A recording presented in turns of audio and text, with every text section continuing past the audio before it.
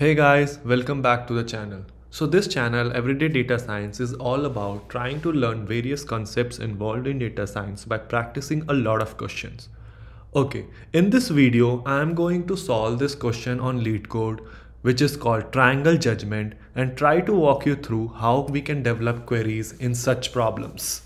Okay, so let's jump right in.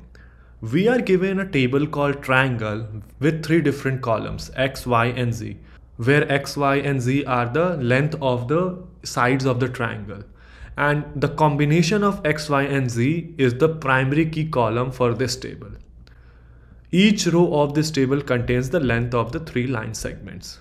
Now, we are asked to write a SQL query to report for every three line segments whether they can form a triangle. The order of the result does not matter. Okay, so let's go ahead and see and go through this example. So this is the example that is being given.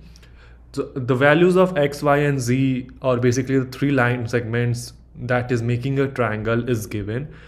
And we need to determine whether it is possible to make a triangle with these given values or not.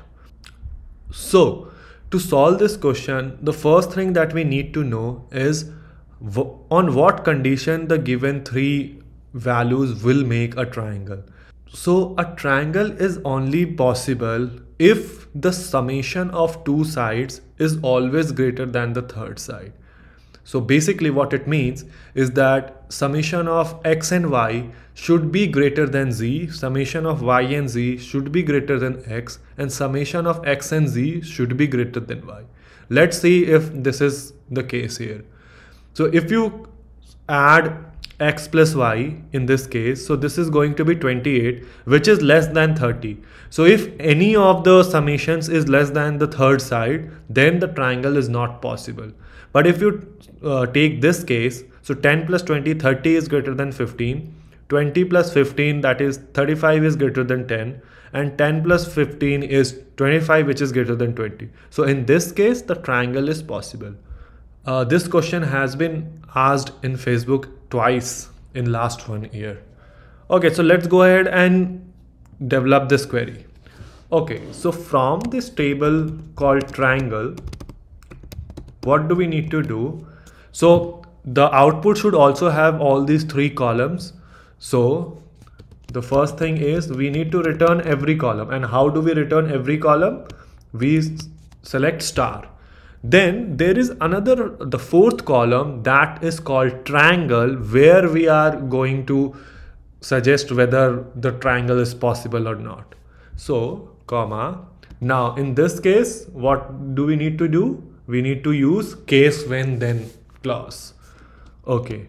So case when and the condition that needs to be satisfied to be a triangle when three different line segments are given is x plus y greater than z and y plus z greater than x and x plus z x plus z greater than y.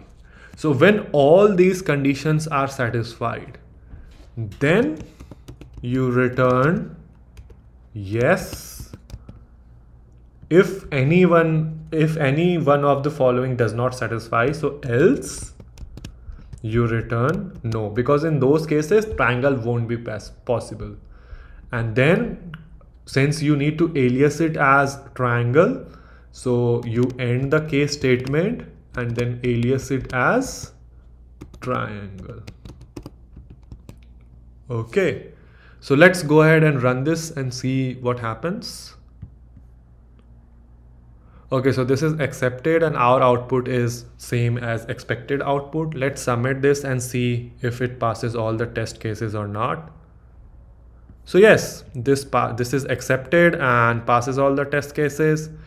So yeah, this is how we solve this question and what we learned from this is that there are some questions that can be asked in some interviews where you would need to have some prior knowledge. So in this question if you didn't know what are what is the condition that we look for if three line segments are given and to see whether a triangle can be made from those three line segments or not is basically this.